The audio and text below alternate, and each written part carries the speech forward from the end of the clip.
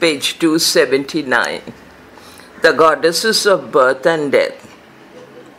The Katha Shagur 70.112 equates the knowledge or equates the kumbha or ghata explicitly to the uterus. The equivalence may explain why the Navaratra, quote, nine nights, unquote, fertility festival to all mother goddesses begin, begins on the first of Ashwin by establishing a fertility jar, bracket, ghatas sthapana, bracket closes, stop. The jar is set in some earth in which seed grain is carefully planted, quote, to encourage the fields, unquote, stop. The cella, C E L L A, of the shrine is decorated with food of all sorts. In the villages, this is the special time for blood sacrifices to the goddesses. Women are the principal worshippers during these night, nine nights, even when male priests have taken over the cult, as happens at the more profitable cult sports, cult hyphen sports.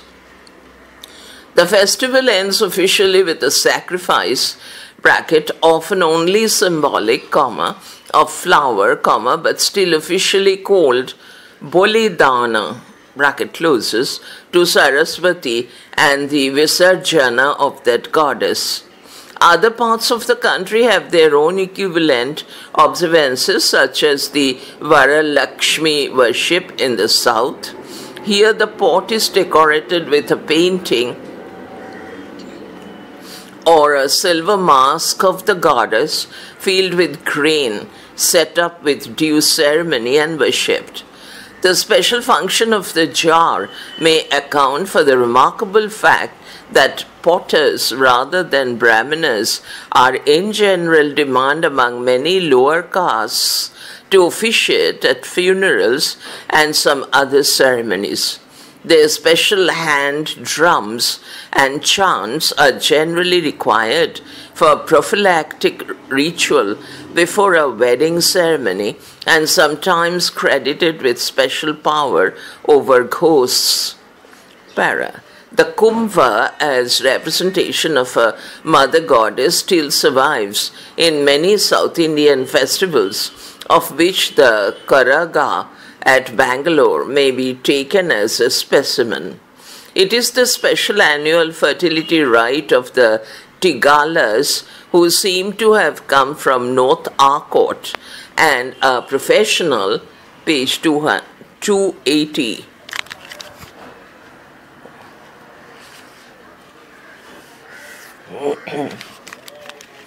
Market gardeners about Bangalore. The animal sacrifices formerly made to the pot are now reduced to one, the rest being replaced by cutting lemons or boiled cereals. In the final procession, the main participant, Arvaka Kulon, hereditary Taigala priest, carries the pot on his head but is dressed as a but is dressed as a woman. His wife has to remain hidden from the sight of men all during the festival. The Taigala representatives, at least one from each family, cut themselves with sharp swords, but no blood flows during the ordeal. This festival, which is obviously not Aryan, has been Brahmanized only during the last 150 years, is now associated with a temple dedicated to the eldest Pandava Dharmaraja and the goddess Med into his wife Draupadi, the main content of the sacred pot being a gold fetish known as her Lakti, Shakti.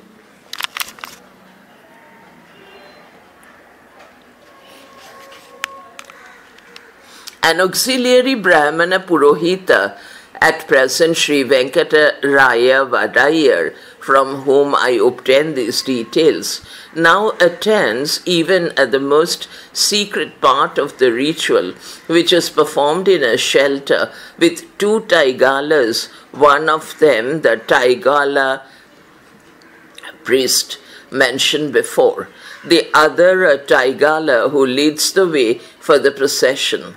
Naturally, these secret rites are not divulged, but the whole festival is obviously obviously a women's observance taken over by men. It is to be noted that though the Taigalas are a low caste, every temple in Bangalore sends an idol representing its god to follow in the final procession, and on the whole, this may be called the most impressive local festival. The Untouchables have a similar one a couple of months later. The real Karaga ends on Choitro, April, full moon, after nine days of observances and celebrations. The triple pot, which is itself the Karaga, is not made by a Taigala nowadays, but by a professional potter. Nevertheless, it must still be made from the sediment of one particular artificial pond, not turned on the wheel but handmade, and not burnt but sun dried. The final procession ends with the Karaga pot being thrown into the pond, though the golden Shakti representing Draupadi is quietly rescued by the priest for use against next year para. There are two different conceptions of death in the Rig Veda, which gives several distinct funerary rites in its later book, namely Roman dot 14, comma, Roman, namely Roman 10 dot 14, comma, 10 dot 18, comma, 10 dot 35. The earliest concept of death in the RV is unquestionably going to sleep, the long sleep from which there is no awakening. Many of the demons killed by Indra sink down into the eternal sleep.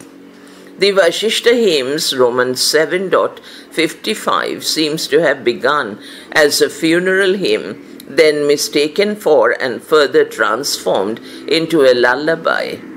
Correspondingly, we have the lower level of the cemetery, H, capital H, at Harappa with extended burials.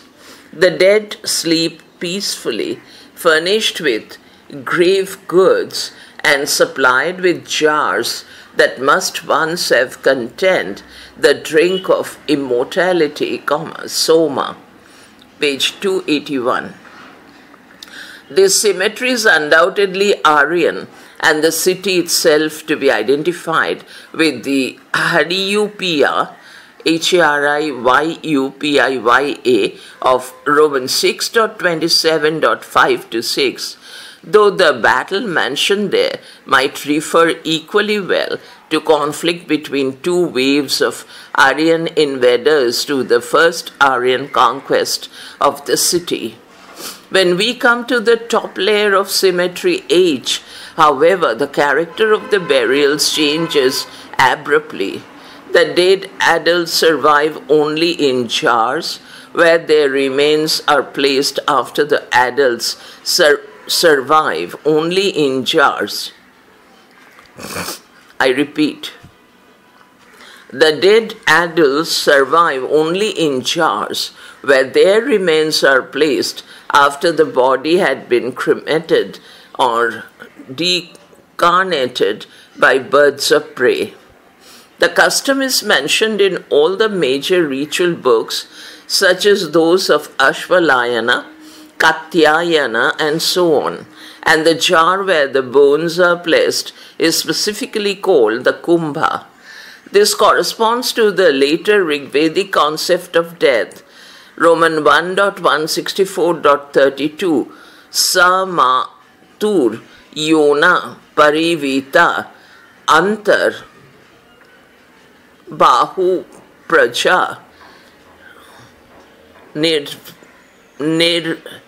Nirvitim A Vineksha uh, Vivesha namely return to the mother's womb and is proved very clearly in the case of cemetery H by the crouch position in which dead infants are placed within the jar. Apparently, the bodies of children could be sent back to the mother directly without being stripped of later fleshy accretions by fire or carrion eaters. Further guesses may be made that the star-like decorations on the jars are developed oculi, but this would need closer proof. Incidentally, we are in a position to explain one peculiar decoration in this later Harappan grave pottery, namely the peacock containing a recumbent human figure within the disk that forms the bird's body. If the figure was sitting or upright, it might have been taken for some deity. The horizontal position excludes this, and a reference in the Mahabharata 1.85.6 clarifies the situation. There, the dead are represented as having been eaten by birds and insects of various sorts, but specifically by peacocks. Bracket Shiti Konto, bracket closes, comma, whence the figure within the peacock must be the dead man himself. The bird is not the common carrion eater, so that he must have had a particular sanctity, which is confirmed by his being the companion and hence a totem of the river's speech and mother goddess Saraswati. With the particular name Shitikonto, he is associated with the dread god Rudra Shiva and a Vahana of Skanda as well para. A little later, as in the Shatapatha Brahmana, Roman 13.8.3.3, the earth herself becomes the mother, into whose lap the bones are poured out from the kumbha. But clearly, the original mother, or at least her womb, was represented by the pot. Therefore, it is clear that Vasishtha and Agastya is being born from the urn are giving a good Aryan translation of their birth from a pre-Aryan or non-Aryan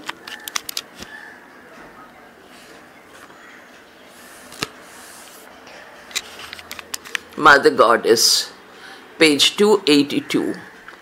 The effective change is from the absence of a father to the total denial of a mother mother, a clear Marxist antithesis necessitated by the transition from matriarchy to patriarchy. After all, Aryan means a particular manner of life and speech, not a race. We may conclude seeing that extended burial comes first, that the Harappan groups of Aryans had not the general habit of cremation and that the later idea of a return to the womb is acquired from some of their former enemies whose remnants after the conquest were absorbed by comparatively peaceful means, unless, of course, it represents a second wave of invaders. We cannot prove directly that the manufacture of pottery was also a monopoly of women in the earliest stage here, or that Urvasi Ushas was a potter. But ritual pots continue to be made by the priest's hand without the wheel, as in Satbra, Roman 14.1.2.7 FF, and the spade with which the clay is dug is to be formally addressed by the priest, quote, Thou art a woman, unquote, comma, as again in Shatbra, Roman 6.3.1.39.1, think that this goes back to the period when both digging for agriculture and pottery were women's work, then that the mother goddess, I repeat, that the mother goddess should weave the pattern of her son's fate and sew or embroider it, bracket like Raka in 2.32.4, Suryat Vapa, Suchya Chidya Manaya, bracket closes, is most natural. Text continued in next file.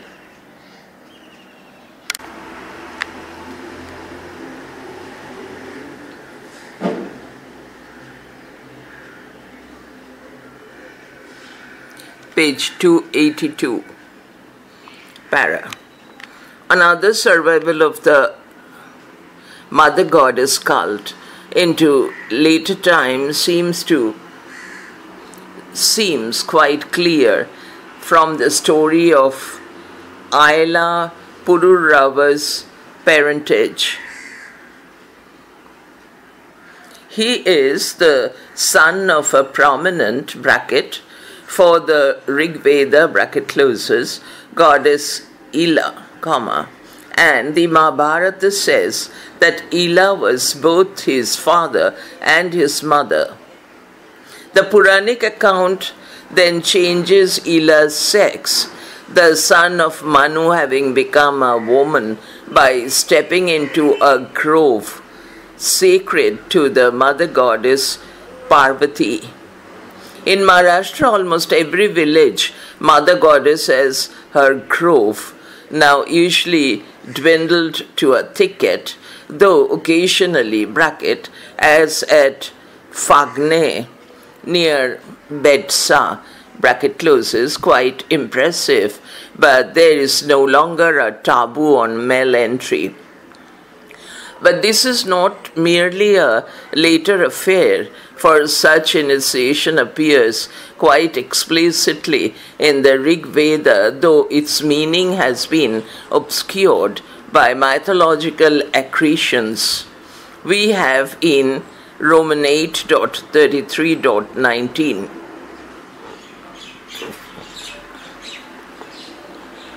Colon quote, gaze downwards, comma, not up, semicolon. Hold your feet close together, semicolon. Let not your rump be seen, semicolon. For thou, comma, for thou, comma, O priest, comma, art become a woman. Stop, quote. Nothing could stop, unquote. Nothing could be clearer than this, which shows bracket opens with the preceding riks bracket closes that a male priest has been initiated as a woman and told to behave accordingly.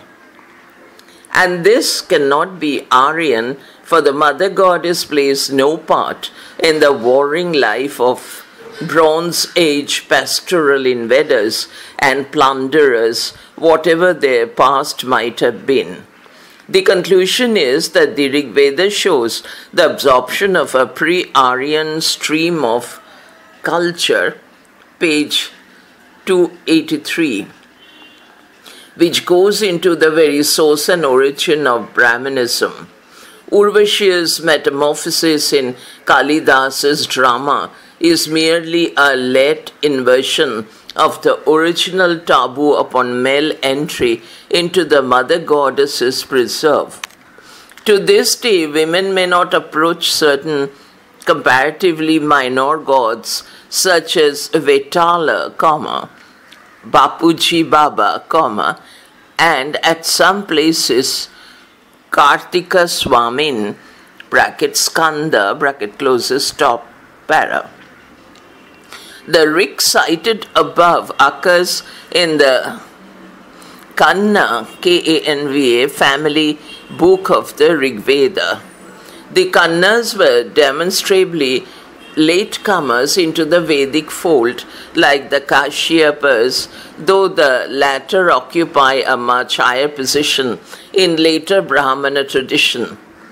The Kanva Narada is reported by several Puranas to have become a woman by bathing in a sacred pool. He regains his manhood by another immersion, but only after a considerable period as a woman.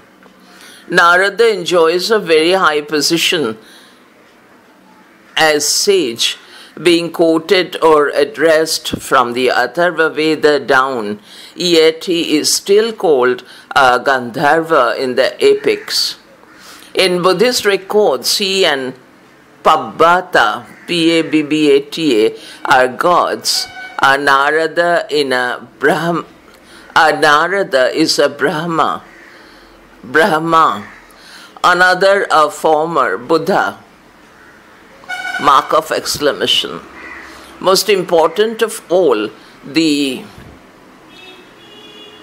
Anukramani makes him and his brother or nephew Parvata, joint authors, RV Roman 9.104, but with an alternative ascription to quote the two Shikhandinis, comma, Apsarases, comma, daughters of Kashyapa, unquote, stop. Referring back to the Bhishma story, where that hero is killed by a Shikhandini, metamorphosed into a man, one may recognize traces of a very deep layer of myth regarding the tradition of Mother Goddess cults, Apsaras, human sacrifice. Para. At the end of Shakuntala Act 5, the wailing heroine is taken by a ship of light which carries her off to the Apsara Tirtha. At the beginning of the very next act, the nymph Shanumati or Mishrakeshi comes from that sacred pool to spy upon the hero. She has just finished her turn of attendance upon men at the ritual investiture bath. Quote, Java Sahujanasa Abhishek Kaila. Unquote. Stop. Thus, Kalidasa balances the Vikrama Vasyam Vikrama Vasyam with another play where the Apsara heroine, whose name makes her a bird goddess, is rejected by the hero, directly inverting the original Urvashi legend.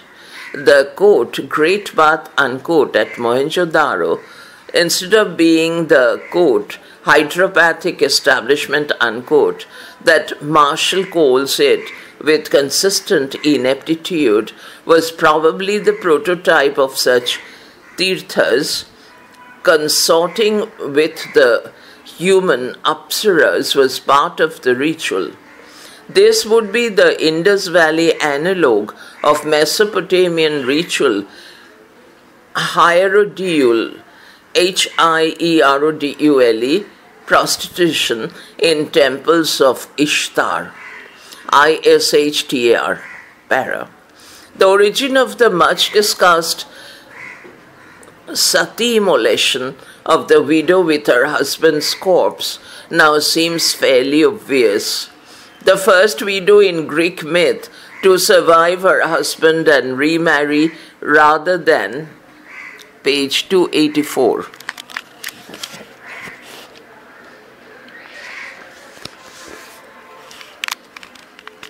Enter his flaming pyre was Gorgophone, G-O-R-G-O-P-H-O-N-E, comma, daughter of Perseus. Widow burning can only have developed from suppression of matriarchal tradition, presumably as a warning or precaution against its surreptitious revival.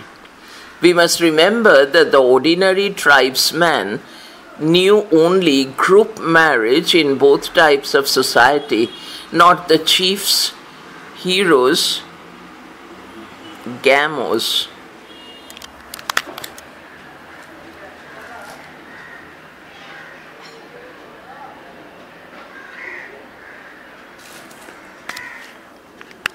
Hieros, H-I-E-R-O-S, gamos, G-A-M-O-S, in italics.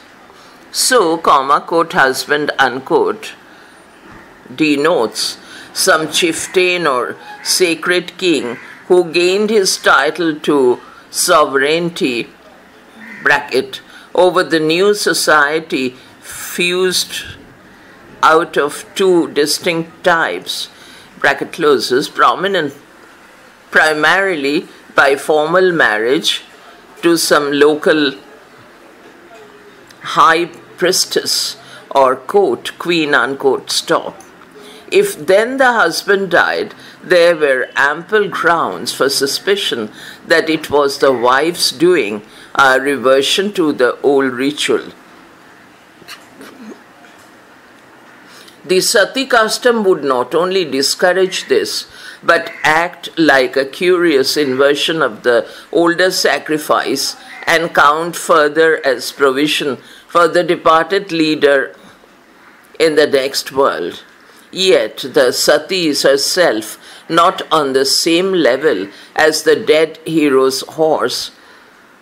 How panoply, bow, comma, panoply, and accoutrements immolated with him for the immediate for she immediately becomes a goddess with her own cult.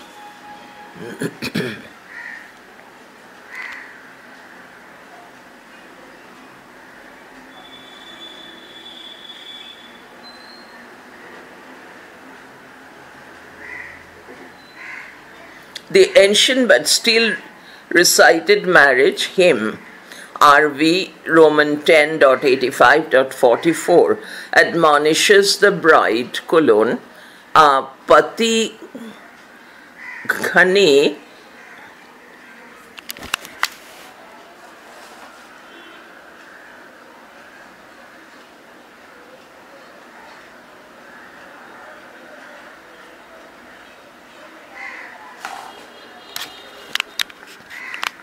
Pati hyphen G-H-N-I, Patighni, Apatighni, A-T, E-D-H-I, equal to sign, quote, become a non-husband killer, unquote, stop.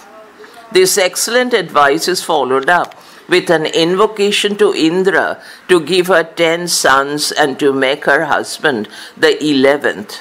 This would carry the proper meaning only in a society which had not completely forgotten that the husband was once sent to the gods in sacrifice but never the son. Para. The Urvasi faded away, but they are responsible, nevertheless, for the goddesses of the later pantheon that are married peacefully to the major gods. Their living representatives developed what became with the rise of a trading society and cash economy before the Mauryan period commercialized prostitution. Significantly enough, the older, superannuated, state controlled meretrices, M E R E T R I C E S, of the Arthashastra 2.22, 2.27 enjoyed the position of madams and supervisors over their younger colleagues with the title Matrika used for mother goddesses. They are also responsible for the unholy institutions associated with temple cults in the least Aryanized parts of India. Finally, they gave birth to two leading Brahmana clans, the Vashishtas and the Agasthyas. When the jar-born sage Agastya, quote, nourished both colors, unquote, comma, Udbahu, Varnau, Puposa, in RV 1.179.6, It cannot mean two castes, but both Aryans and non-Aryans, for he belonged to both, and his hymns show clearly the character of the compromise. Only intensive and systematic archaeology can decide whether the Agastyan penetration of the south is pure myth or has some connections with the great megalithic tomb of, quote, saints, unquote, stop. Page 285, notes 1. A. B. Keith, The Religion and Philosophy of the Veda and Upanishads, Harvard Oriental Series, Volume 31 to 2, Cambridge, comma, Massachusetts, comma, 1925, page 183. 2. Max Muller, Chips from a German Workshop, Volume 2, Second Edition, London 1868, pages 117 FF, particularly page 130. 3. In R. Pischel, P-I-S-C-H-E-L, and K.F. Geldner, Vedische Studien, Volume 1, Stuttgart, 1889, pages 243 to 95. Hereafter, Rigveda references will be indicated with or without the preceding abbreviations RV. 4. For the fire drill as Urvashi and Pururava's CF Shatbra Roman 3.4.1.22 semicolon. For the fire drill and any human procreation Brihadaranyaka Upanishad, Roman 6.4.22, comma, and other places. 5. According to MOH,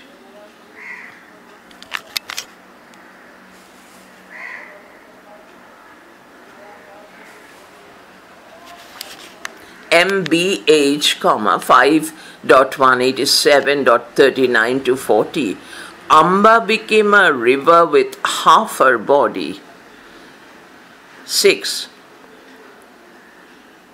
The Brihad the Brihad Devata takes Surya, Sharanya, and even Vrishakapayi as forms of Ushas. Bracket BRD dot Roman 2.10 dot Romans 7.122.1 bracket closes stop. The speech goddess Vach is there equated to Durga, Sharma, Urvashi, Yami in the middle sphere, Roman 2.77, and to Ushas in Roman 2.79 to 80. Urvashi is derived as Uruvadani Roman 2.5.9, making all possible allowance for the syncretistic tendency of such post-Vedic explanatory works, it is clear that these goddesses had something in common. This common factor can only have been their being mother goddesses. For Sharma and all other goddesses whose names terminate in MA we have the clear, though late testimony of the Amar Kosha 1.1.29 semicolon Indra Loko Mata Na Ma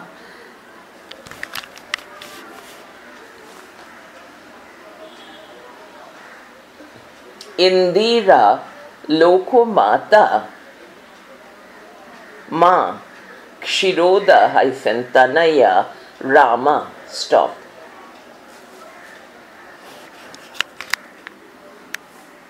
Seven. AV dot Roman 14.2.14 clearly supplements the Rigvedic ceremonial in the direction of group marriage, quote, in her here, comma, O men, comma, scatter ye seed, unquote, semicolon. The 17th century Rik hopes that The 17th Rik hopes that the bride would be, quote, not husband slaying, unquote, comma, and the next that she would be Devakrama.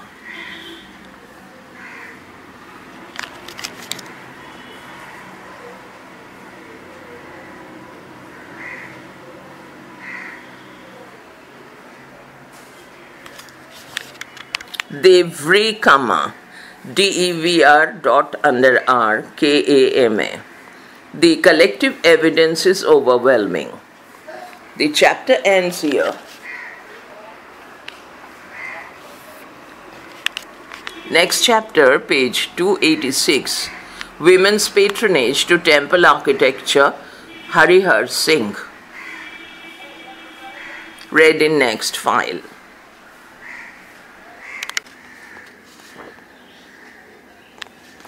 Page 286. Women's patronage to temple architecture. Harihar Singh. The royal as well as common women, like men, took active part in the temple building activity in ancient India. They not only patronized it but also inspired and influenced their consorts and relatives in this task. And in fact, a large number of edifices could reach their final form due to their patronage. This will be clearly reflected from the dynasty wise survey made below. Para. At the very outset, it may be pointed out that the political condition of North India during the period when the temple building activities were carried out has been very disturbed. As the earliest relevant records belong to South India, we begin our survey with this part of the country. The Ikshvakus of the Andhra country the excavations at Nagarjuna Konda have revealed a fairly large number of edifices and inscriptions which afford us useful information about the position and status of women of the Ikshvaku kingdom during the 3rd 4th centuries AD. It is interesting to note that while the Ikshvaku kings patronized Brahmanism and performed Vedic sacrifices, their consorts and other ladies of the realm were devotees of Buddhism and erected ma- monasteries and temples in honor of the Buddha. Footnote 1. Amazingly enough, 90% donors at Nagarjuna Konda were women. Footnote 2. The most celebrated lady of the Ikshvaku family was Charnistri, C A R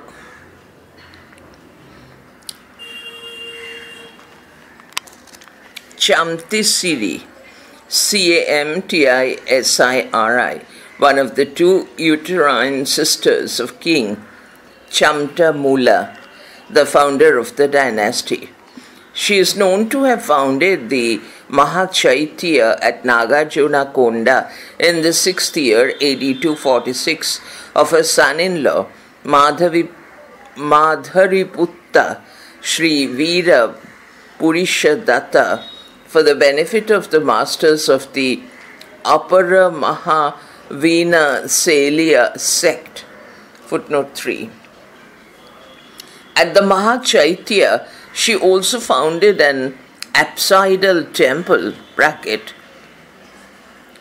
Chetiya Ghara, bracket closes, number 1, and stone mandapa, bracket, Sela Mamtava, bracket closes, surrounded by a cloister bracket chatushala bracket closes footnote 4 page 287 the mahachaitya took about a decade to attain its final form, and all these years it received the munificence of this pious lady. Footnote 5.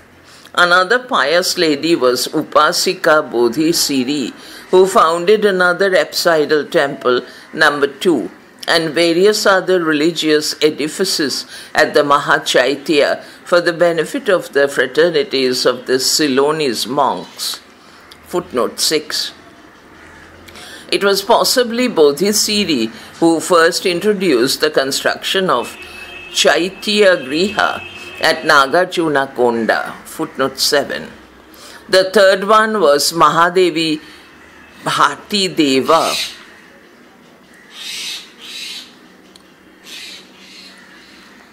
Mahadevi Bhati Deva, who calls herself the daughter-in-law of Vasheti Putta Siri Chamtamula, the consort of Madhari Putta Sri Veera Purishadatta and the mother of Siri Ethuvula Chamtamula. she is said to have founded a Buddhist monastery with all the essentials for the benefits of the masters of the Bahusuntiya sect, which is identified with the monastery number 4 at the site. Footnote 8. The fourth lady was Mahadevi Kodabali Siri, daughter of Siri Veera Purisa Datta, sister of Siri Ehuvala Chamtamula and wife of the king of Vanavasa, who founded a Buddhist monastery number 5 for the benefit of the masters of the Mahishashaka sect. Footnote 9. Apart from these architectural activities, the women of the Ikshvaku kingdom set up a large number of pillars at Nagarjuna Konda. One inscribed carved pillar near Stupa number 9 was set up by the sisters, mothers, and consorts of Vaseti Putta Siri Chamtamula in the twentieth year of the reign of King Chamtamula's son, King Madhari Putta Siri Veerapurisadata. The lady donors are 31 in number and their names are inscribed on the pillar. Footnote 10.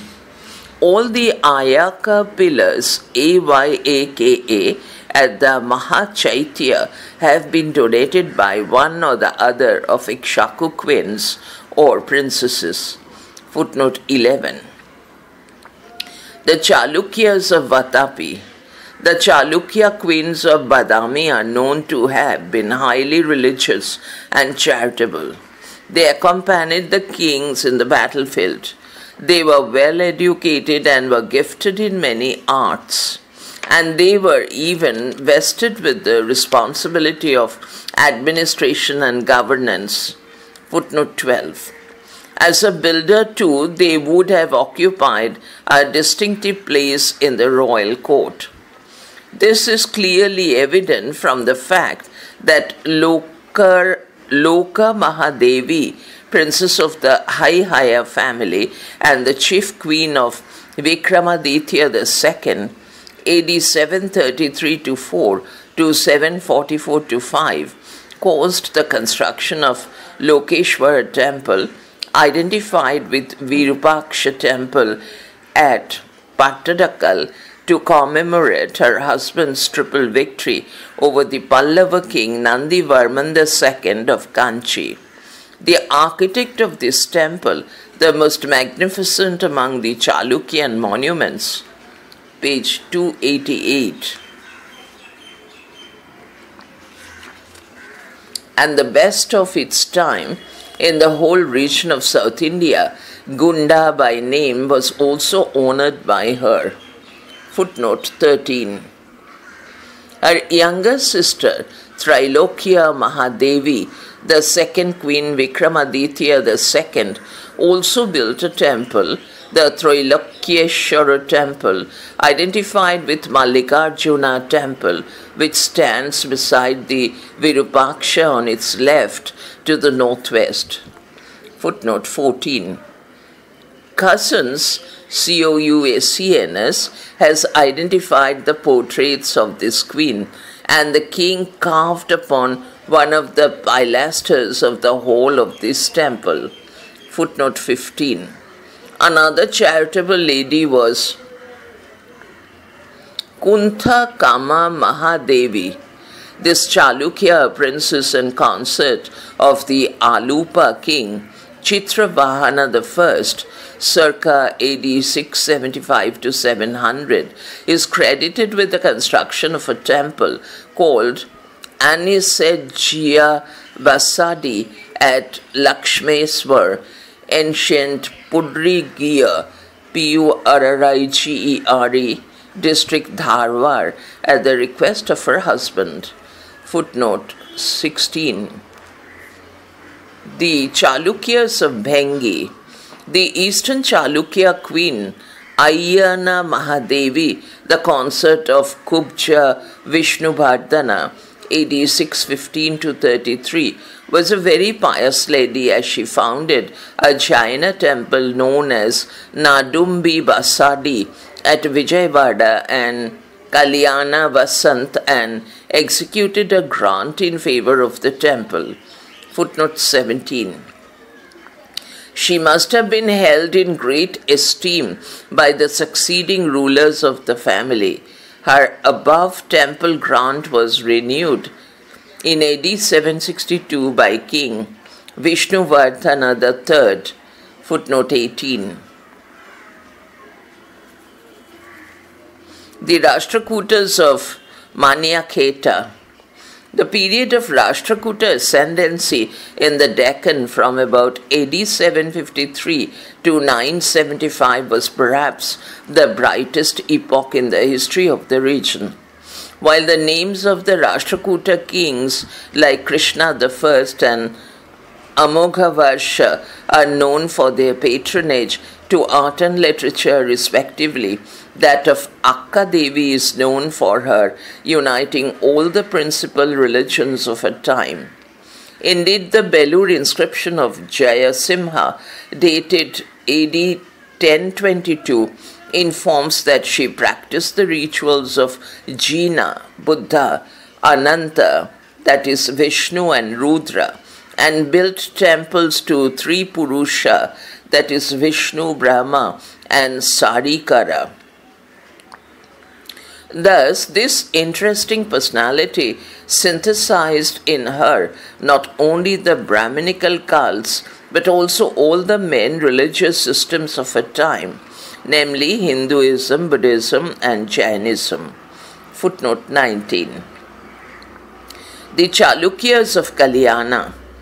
The royal ladies of the Chalukya dynasty of Kalyana, 11th 12th centuries AD, occupied high positions in administration of the kingdom and enjoyed respectable status.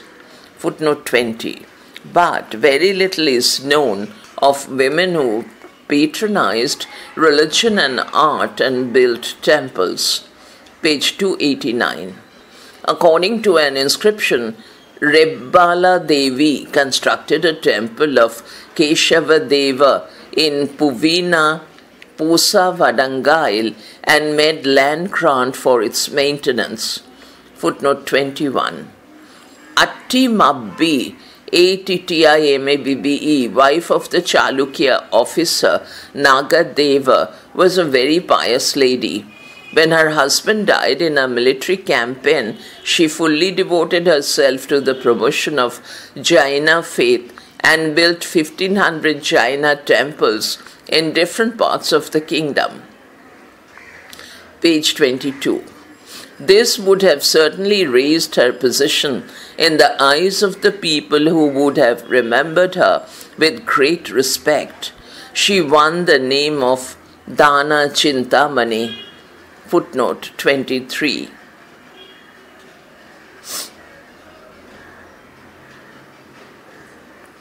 The Gongos of Talkad, Western Gongos.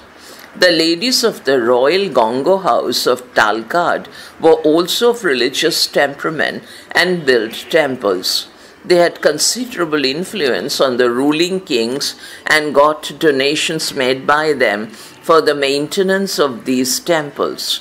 Indeed, we learn from the Sudi, S-U-D-I plate of S.E. Shako era, 860 AD 938 that quote at Shundi, the comma, the chief bracket town bracket closes of the Shuddha Suldhatavi S-U-L-D-H-A-T-A-V-I, comma, the glorious Divalamba dash, the one Rambha of the world dash, celebrated the sacrificial rites of six female mendicants and caused the famous Jaina temple to be built. Stop unquote, footnote 24.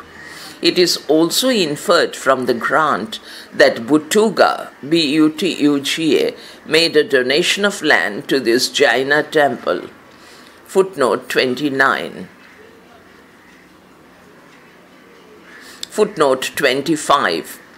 Similarly, an inscription of SE 884 AD 962 reveals that Mara Simha II AD 961 to 74 granted land to a Jaina temple founded by his mother Padma Barsi. Padma Barasi, P-A-D-M-A-B-B-A-R-A-S-I of Konagula Desa Footnote 26. The Santoras of Pattipombulo Chapura.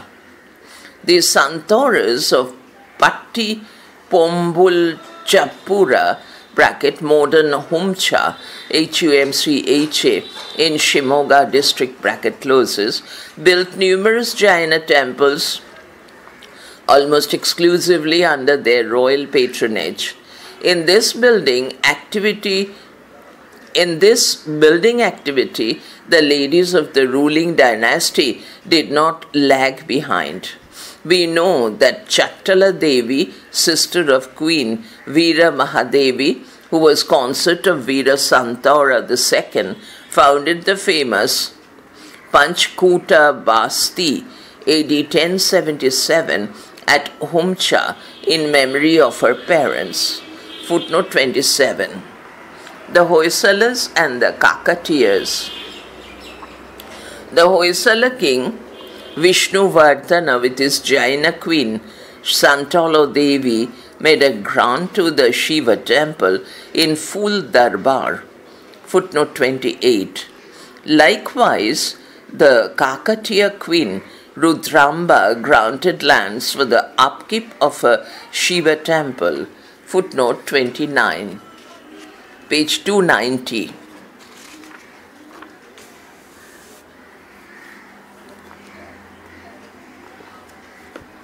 The Pallavas of Kanchi. The Pallava queen, like their consorts, were great patrons of arts and had a commanding influence upon their husbands. This is evident from the fact that Rangapataka, the chief queen of Rajasimha, bracket Narasimha Varman II, AD 695 to 722, bracket closes, got an independent dedicatory shrine, bracket Nitya Nini Lesha Varagriham bracket closes, built in the celebrated Kailasha Natha temple at Kanchipuram, founded by her husband. Footnote 30. Another queen of Rajasimha, whose name is lost, built a similar shrine near that of Rangapataka. Footnote 31 para. Ma Devi, the wife of Kadakadiyariyar, appears to be a very generous lady, as in the sixth year of the reign, Kama Pavarman bracket identified with Nandi Varman Tellarerinda circa AD 847 to 72, bracket closes, footnote 32. She caused the renovation of the Jaina temple, bracket, Palli, bracket closes, the construction of its Mukha Mandapa, the renovation of the Pali, and the construction of a temple for Iyakki, I-Y-A-K-K-I hyphen Bhattari. She also made the gift of a big bell to the Palli. Footnote 33. The imperial Cholas the Cholas who succeeded the Pallavas in the south carried out a brisk temple building activity throughout the length and breadth of their empire. This could have been possible due largely to the munificence of such royal ladies as Chempia Manu Devi, Mai Devi, I repeat, champion C E M P I Y A M M A D V D E V I Chempiyamma Devi, comma Kuntavai and Loka Mahadevi.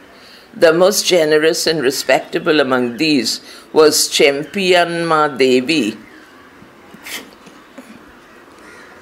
queen of Gandhara Ditya. Many temples are attributed to her.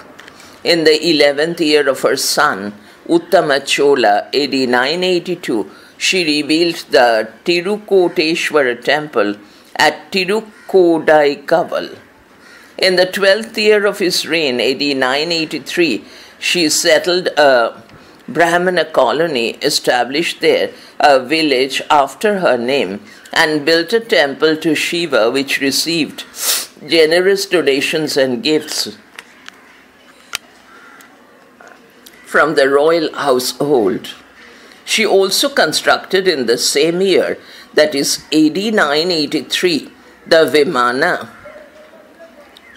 Snapana SNAPANA Mandapa Gopura Parivarilayas etc. of the Vriddhagirishvara temple at Vriddhachala.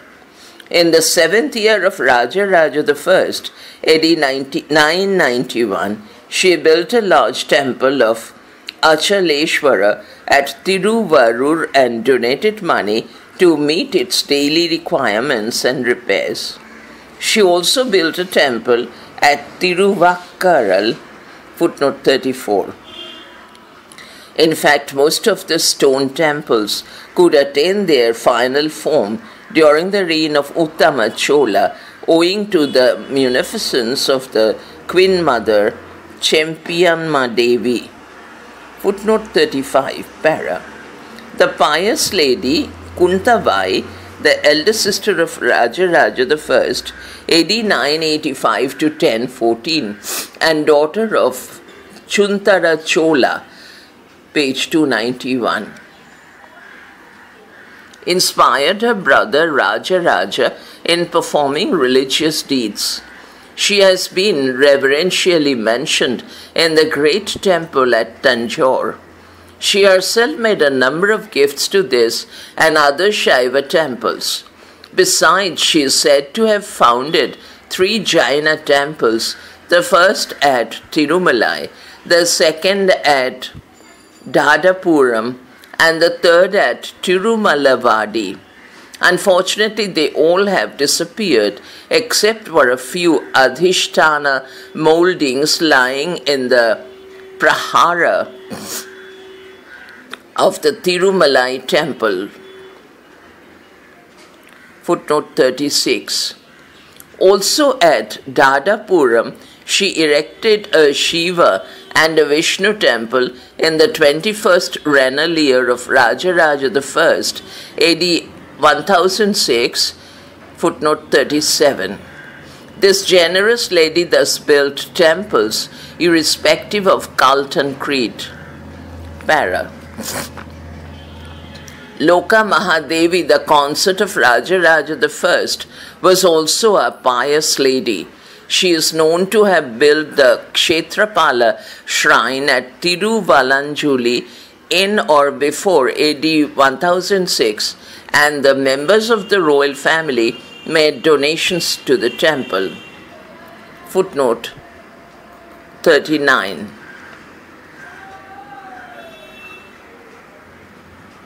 Footnote 38, para. These munificent religious activities of the Chola queens are indicative of the happy position and status which they enjoyed in the royal family. They must have possessed huge amounts of money or rich resources of income which enabled them to finance construction of new temples, renovation of old ones, and to make monetary donation for the maintenance and upkeep of functioning temples. The fact that other members of the royal household generally made gifts to the temples constructed by the queens testifies that they genuinely enjoyed a happy and respectable status in the royal family. They must also have been greatly esteemed by the people, more so after their munificent religious deeds. Now, comma, northern India. Text continued in next file.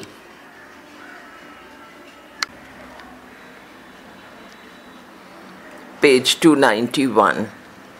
The Imperial Guptas and later Guptas. Though a large number of inscriptions and temples belong to the Gupta period, we do not know of a Gupta queen who built a temple. From this, however, one should not draw the conclusion that the ladies in the Gupta times did not take part in the temple building activity. A grant of the feudatory chief Maharaja Bhuta of the 5th 6th century AD makes mention of a temple built by his mother Viradhya, Viradhyika, V I R A D H Y I K A. Footnote 39. Similarly, the Afsad stone inscription of the later Gupta king Aditya Sena records the Mahadevi Srimati, mother of Aditya Sena, founded a Matha religious college and Kona Devi, the queen of Aditya Sena, excavated a wonderful tank. Footnote 40, page 292.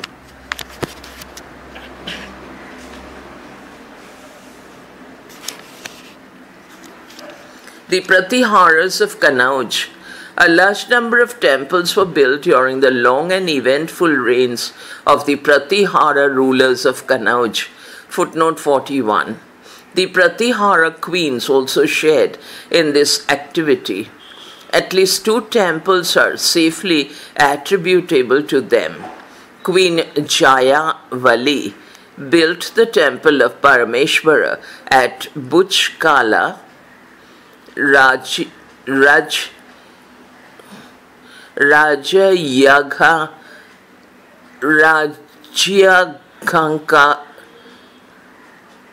R A J Y A G H A राज्यघं जी ए के M का come in AD eight fifteen, and queen, Chitralekha the consort of Mahipala, constructed the temple of Vishnu at Bayana in AD 955.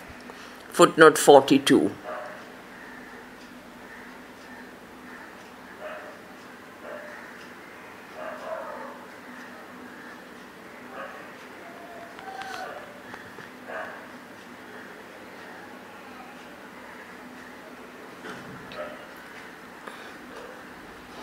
The Gahadawalas of Kanauj Kumara Devi, the Buddhist queen of Govinda Chandra Gaharawala of Kanauj, AD 1114 to 54, seems to be a pious and charitable lady.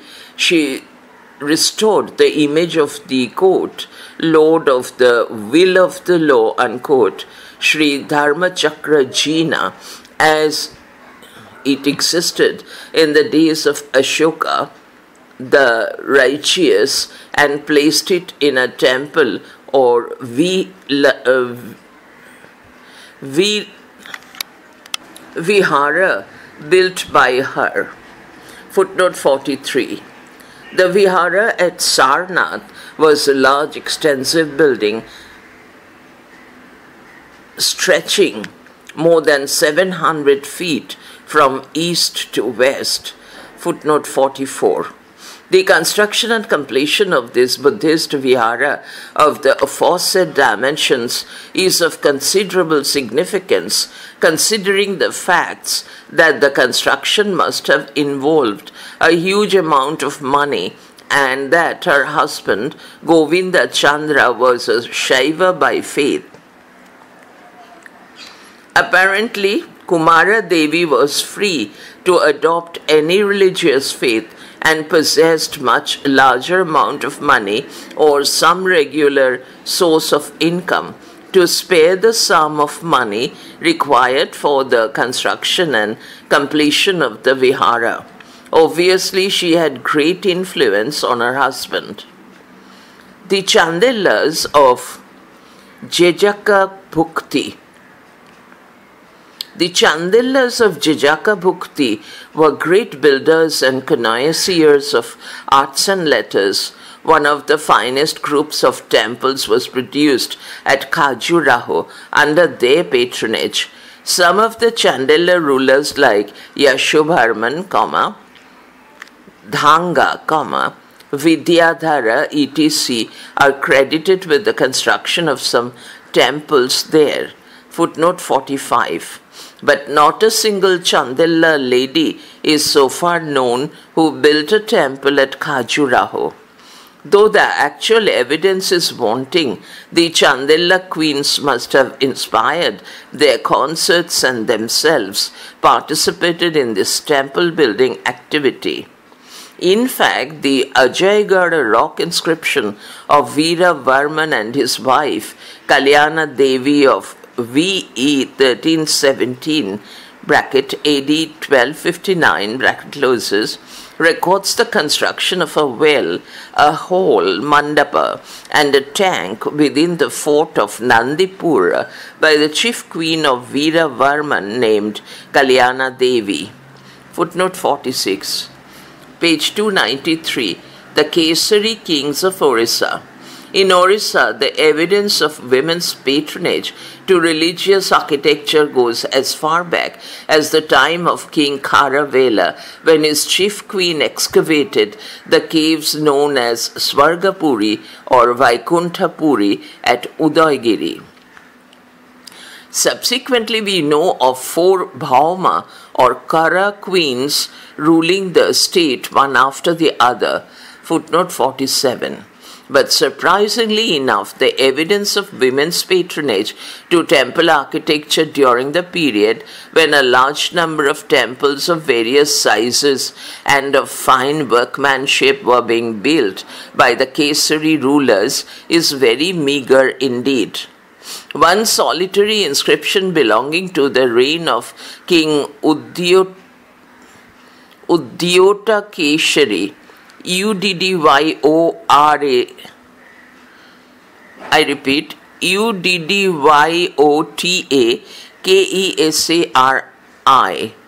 Udyota Kesari, circa AD 1055 to 58, records that the temple of god Brahmeshwara, the present Brahmeshwara temple at Bhubaneswar, was built by Kolavati, mother of Udyota Kesari, in the 18th year of the latter's reign.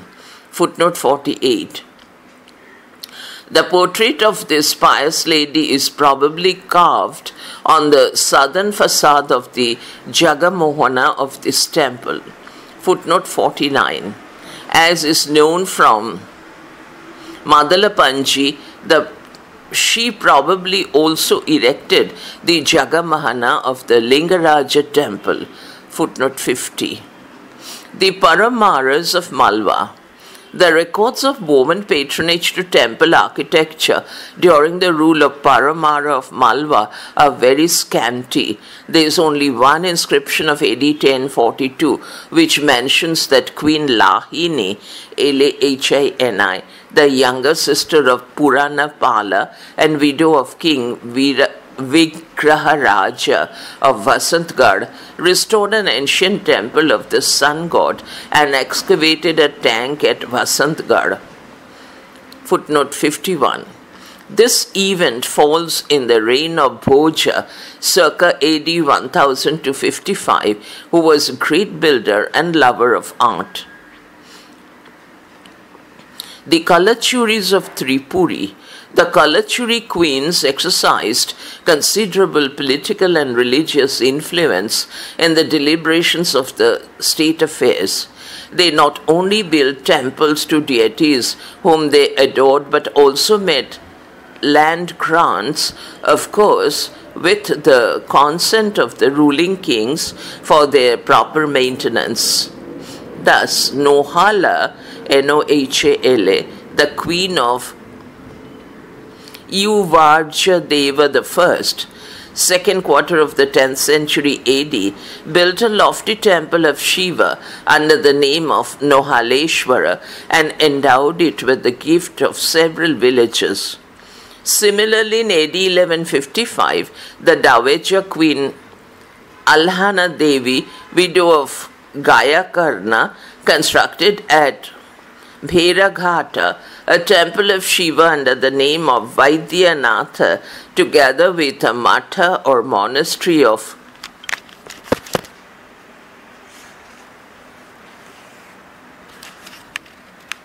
wonderful stories, page 294, and a lecture hall, and attached to the religious complex, a line of gardens and two rows of rooms.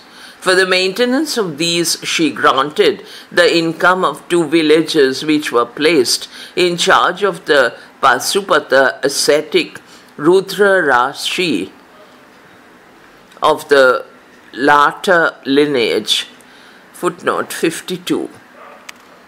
The Chalukyas of Gujarat the period of Chalukya sovereignty in Gujarat from about the middle of the 10th century to the end of the 13th century AD is marked with the prolific temple building activity.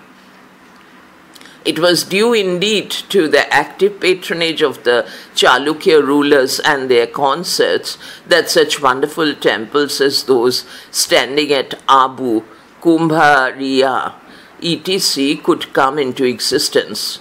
The Chalukya queens must always have variously prompted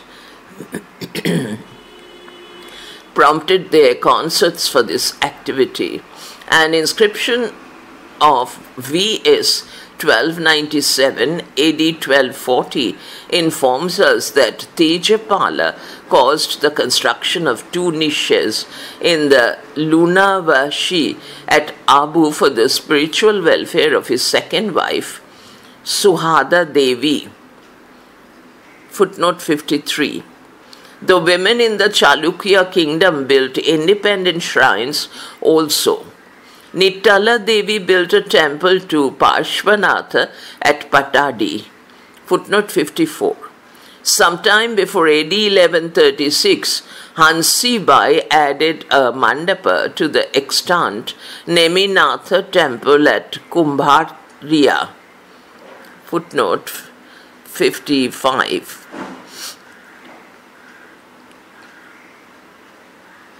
Sumala Devi, the daughter of Lavana Prasada and the second queen of Bhima Deva II, erected the Sumaleshwara temple sometime before AD 1239. Footnote 56. The Chalukya queens are also known to have excavated some wells and tanks. A lake at Anahila Pataka was excavated by Udayamati, queen of Bhima I, circa AD 1023 to 1065, which was regarded better than even the Shahasralinga lake excavated by the great Siddha Raja. Footnote 57. Udayamati is also credited with the digging of a well at Anahila Pataka, footnote 58, which is still going by the name of quote Rani Ki Bhava, unquote. Mayanalla Devi, the queen of Karna, circa AD 1065 to 93, and the daughter of the Kadamba king. Jaya Keshin of Goa was not only an able administrator as she acted as a regent for her minor son Siddharaja for some time, but also an interestingly benevolent lady as she caused the excavation of the Mansar lake at Viramgam, which resembles a conch and still carries 357 small temples out of the original 520 along its surrounding ghat or flight of stone steps leading down to the water. Footnote 59, para.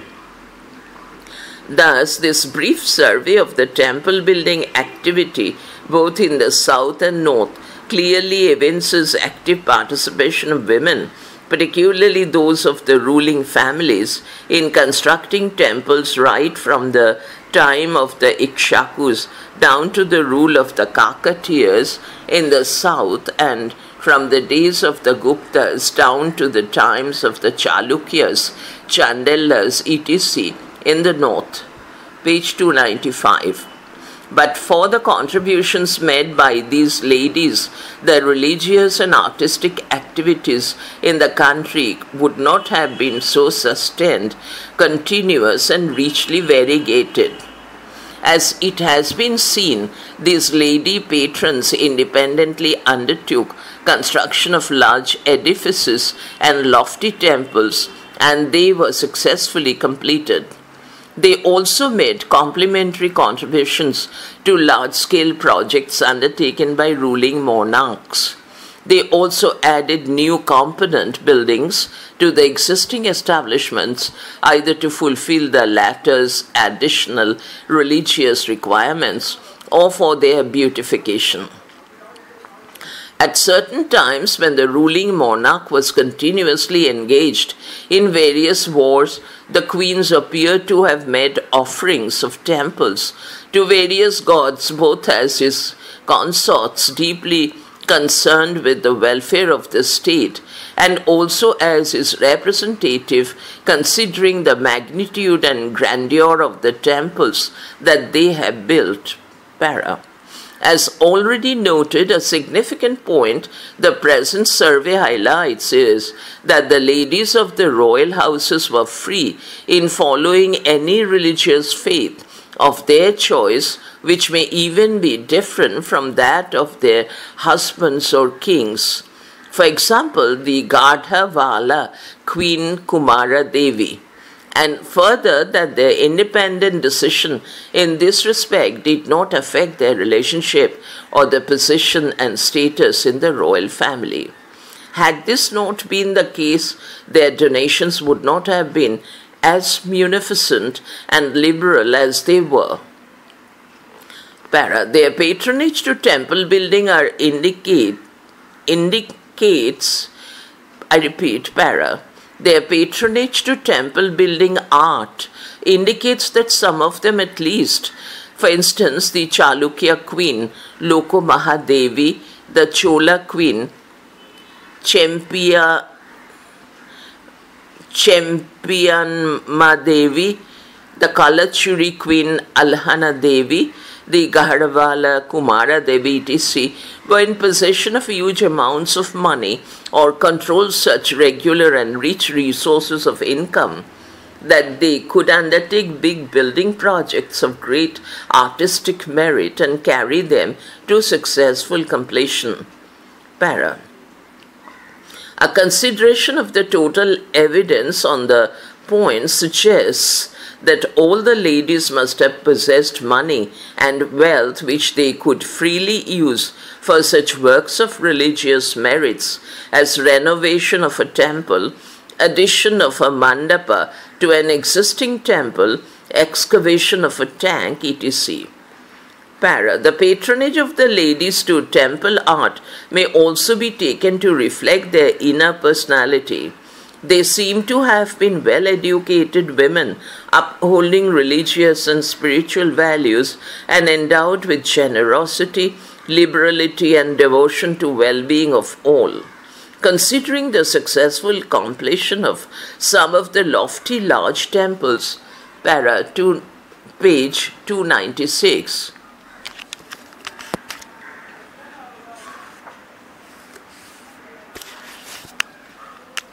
One cannot help feeling that they possessed to some extent capability to manage and control such large projects.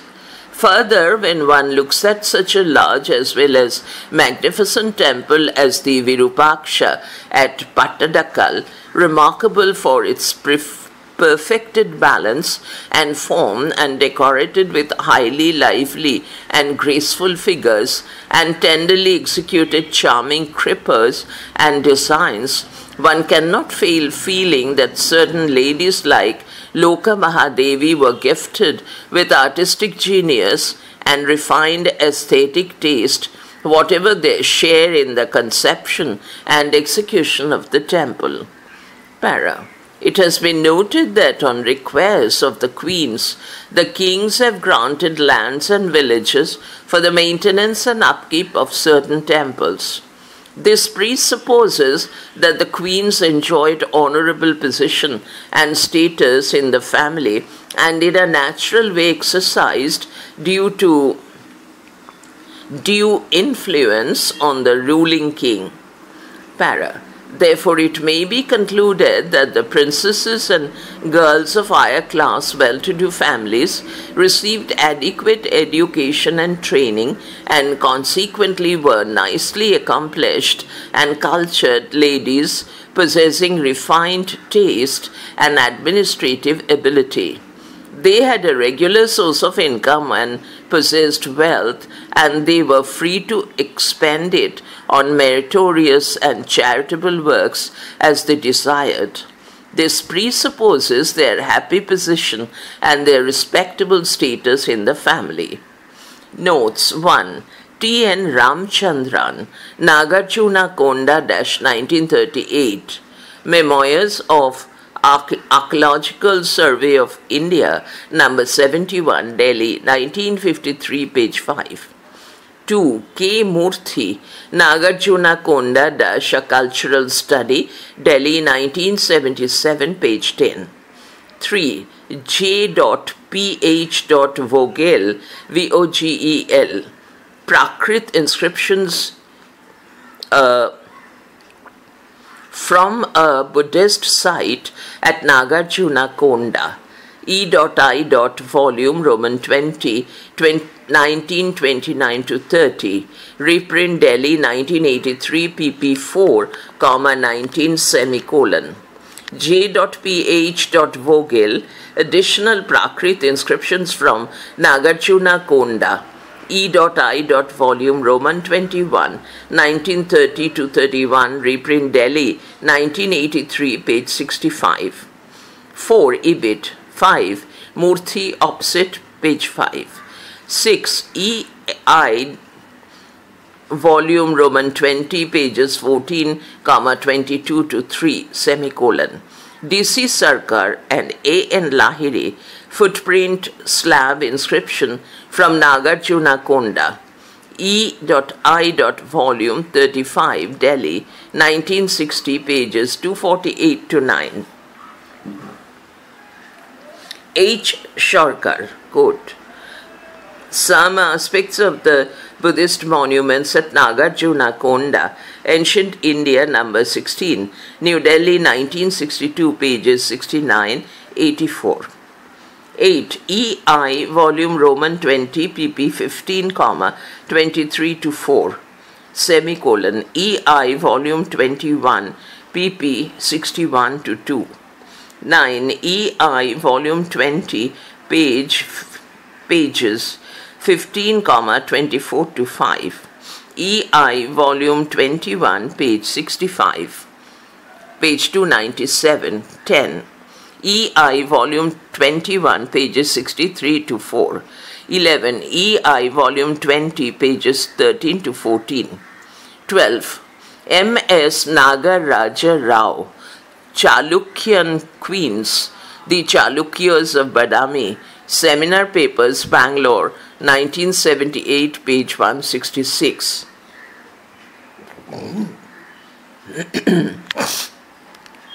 13 J. F. Fleet, F L E E T, Sanskrit and Old Canarese Inscriptions, Indian Antiquary, Volume 10, reprint Delhi, 1984, page 164. 14. J. F. Fleet, Patadakal pillar inscription of the time of Kirti Varman II, EI, Volume 3, 1894 to 5, reprint Delhi, 1979, pages 6 to 7. 15. The Chalukyan Architecture, Calcutta 1926, page 60. 16. H. Shorkar in Encyclopedia of Indian Temple Architecture, hereafter EITA in capital letters, Volume 1, Part 2, text, edited by M. W. Meister, M E I S T E R, and M. A. Dhaky DHAKY, Delhi 1986, page 98, semicolon. R.S. Gupte, The Art and Architecture of Aihole, Bombay 1967, page 6, semicolon. D.C. Sarkar, In the Classical Age, edited by R.C. Majumdar, Bombay 1970, pages 246 to 7. 17.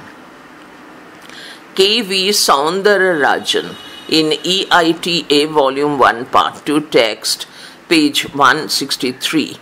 DC Sarkar in the Classical Age, page 251.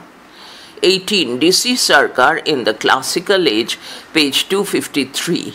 19. A.S. Altekar, The Rashtrakutas and Their Times, Pune, 1934, page 273.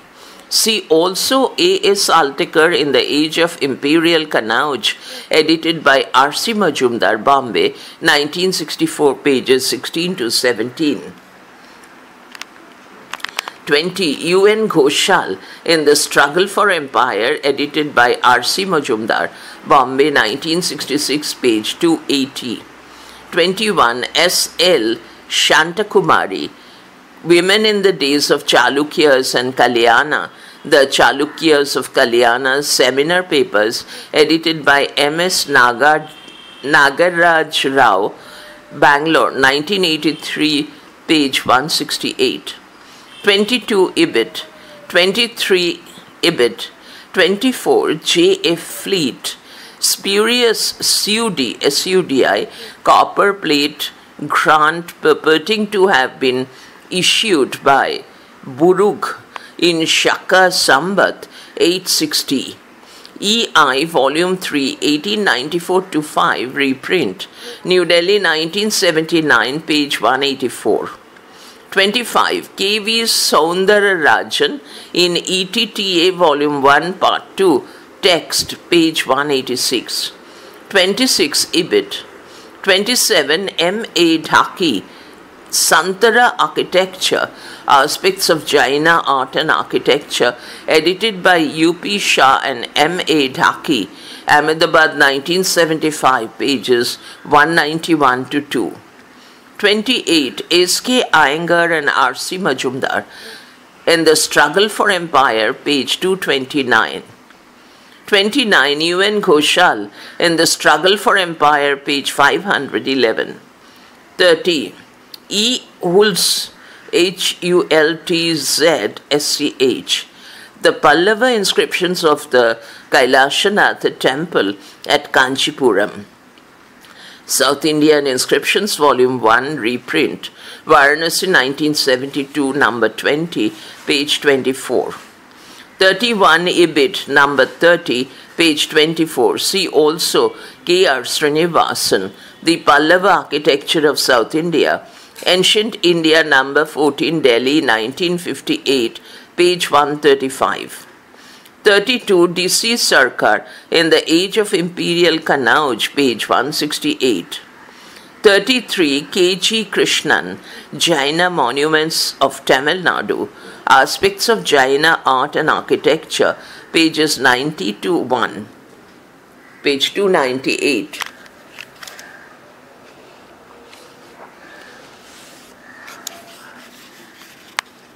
Thirty-four.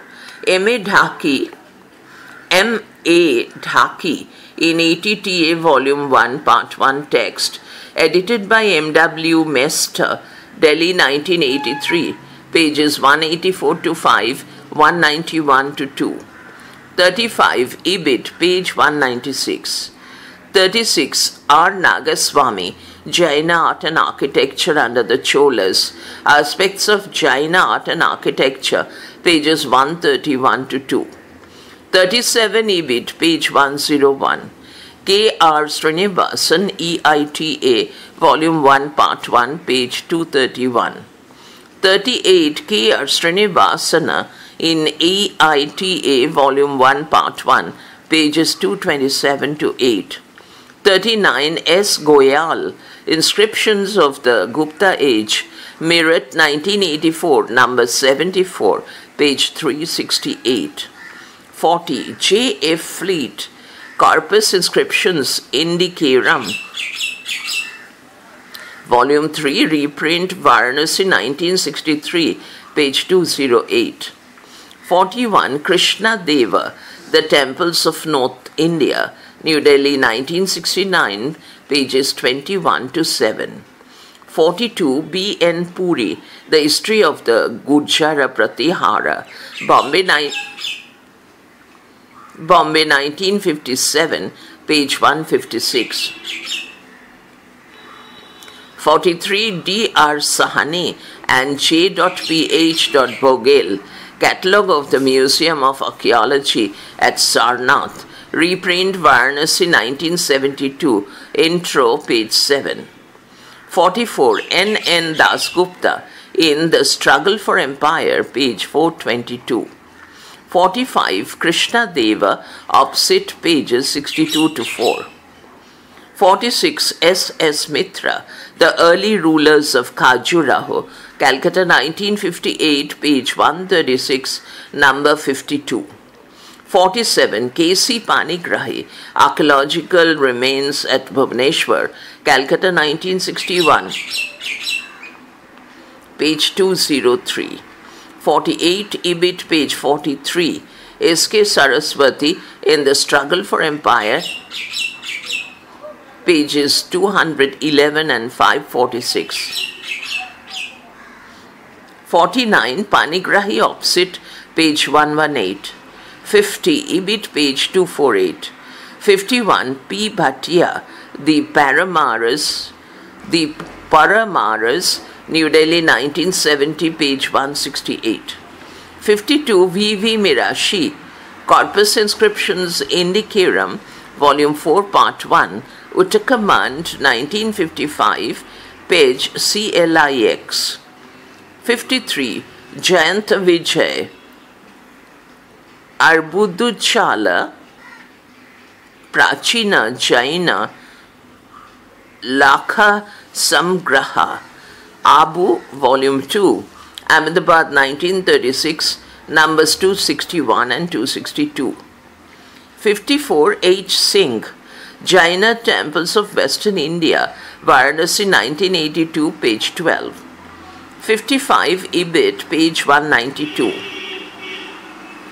56 M. A. Dhaky, The Chronology of the Solanki Temples of Gujarat, Journal of the Madhya Pradesh Itihasha Porishad, number 5, Bhopal, 1961, pages 62 and 81. 57, A.K. Majumdar, Chalukyas of Gujarat, Bombay 1956, page 56. 58 Ibid, 59 Ibid P390. The chapter ends here. Next chapter, page 299, The World of the Bhaktin in South Indian Traditions, The Body and Beyond by Uma Chakravarti. This is the last chapter.